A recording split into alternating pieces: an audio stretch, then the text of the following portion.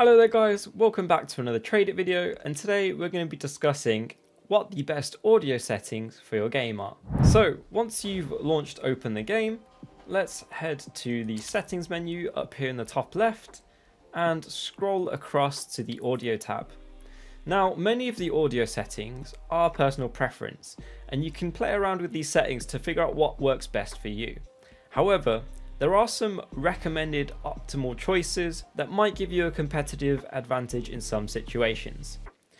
Starting off with the master volume, this is very much your personal preference. Make sure to pick something that isn't too loud as you don't want to cause any damage to your hearing, but you want to make it loud enough that you can hear all the sounds in the game that are required. For the audio device, you either want to leave this on default or select the correct audio device of your choice from the options in the drop down menu.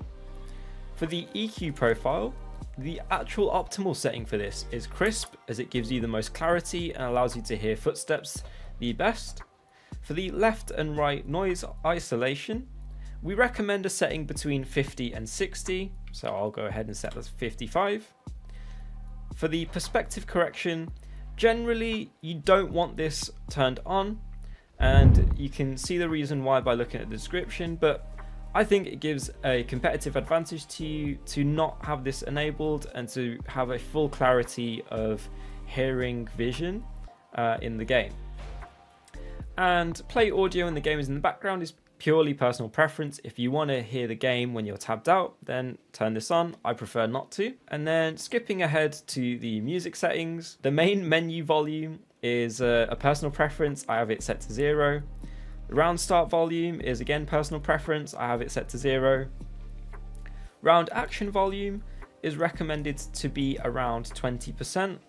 I like it a little bit lower, so I'm going to change it to 15. The round end volume is recommended to have about 50%, and that's just so you can hear things at the end of a round. MVP volume is again personal preference. You can have this set to uh, around 50%, which I know some people have recommended. Um, so I'll change that.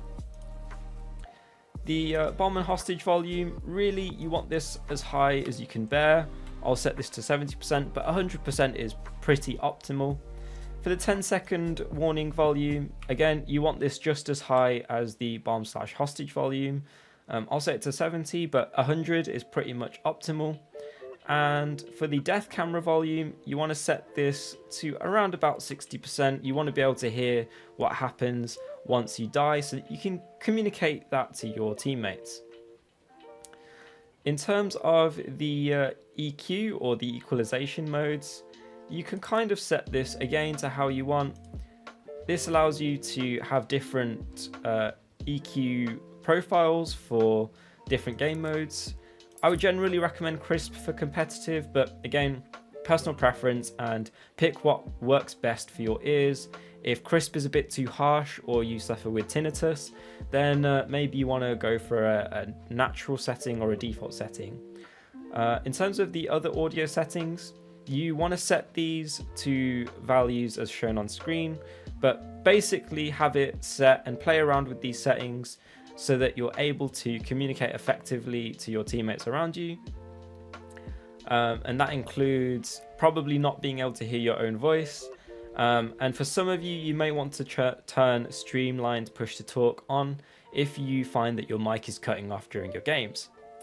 But that will round out basically all of the audio settings that you'll need for a competitive advantage in CS2. If you've got any questions, feel free to head to Tradeit's blog check out our other videos, or if you've got any questions, feel free to put them in the comments down below. But that's going to be it for today. Thank you for watching, guys, I'll see you in the next one.